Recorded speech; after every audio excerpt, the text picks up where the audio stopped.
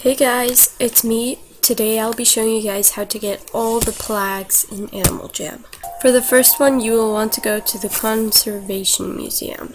And you will have to do the online safety quiz with nothing wrong. And then you'll get the special plaque, and it looks like this. For this next one, you will have to go to the Coral Canyons and go into this art studio. You can paint something.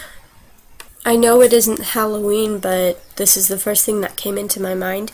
And then you send it to Animal Jam and click yes, and then it sends it to Animal Jam. And um, if you make it into the gallery, then you will get an artist plaque. This next plaque is the Howl plaque. For this you need to go into Jamaa Township, you click on the Jammer Central, and hit submit a howl. And then you just hit submit, and if you make it onto here, then you'll get the Howl plaque. To get this plaque, you will have to enter in any contest of Animal Jam, for example, um, like best clothing item. As we all know, someone won and the ribbon scarf came out.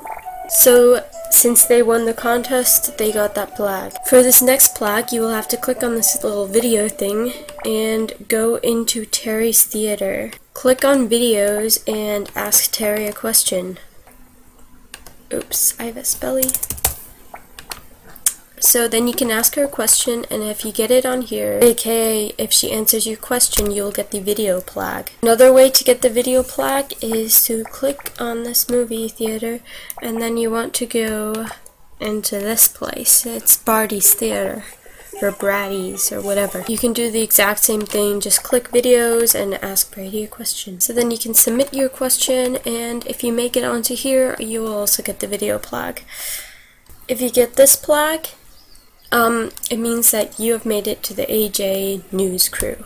Last but not least, the most important plaque is the AJHQ plaque. You get it if you play a lot on Animal Jam and come on daily a lot, then you get this plaque.